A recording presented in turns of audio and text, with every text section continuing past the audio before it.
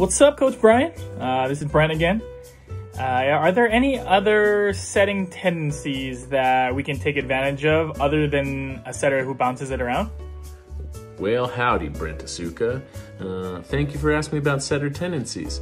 That's an important one because regardless of level, from club to the professional international level, I'm on a new level. Uh, setters are, are very, they make the same decisions based upon where they are on the court.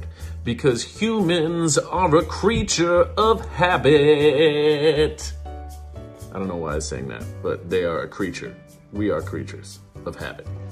Yeah, well, I run six plays, split veers like Novocaine. Just give it time, always works. The first way that I want to talk about in terms of um, setters not changing their behavior um, and humans being a creature of habit uh, are to, to watch where they are on the court. Are they, which half of the court are they on? A lot of times um, setters will set the short way, so whatever is the easiest set.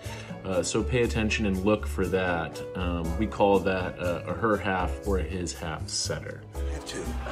My my what what my what? What are you, The had to. are you are you speaking English? Another thing to look for in terms of setters uh, not changing their behavior um, is to look at their relationship in terms of are they close to the net or are they off the net.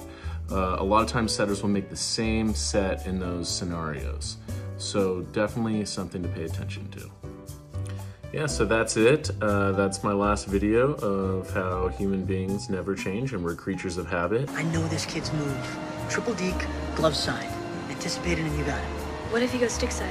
He's fancy. He'll go glove. And I can't wait to hear what the next one is. Brantasuka, goodbye.